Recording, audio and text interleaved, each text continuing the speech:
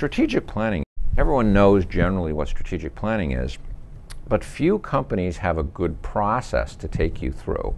We have three major steps in the, compl- in, in the strategic planning process and about a dozen tools that will be used.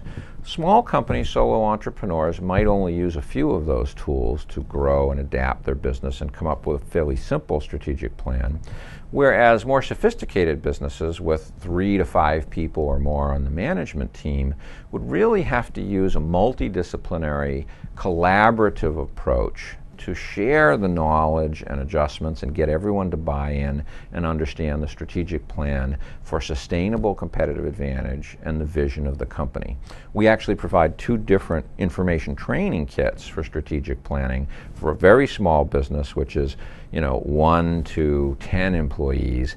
And then once you have a real management team of three managers or more, you want to use that more collaborative process, which is some of the same tools and, and additional tools. So that's the strategic planning module.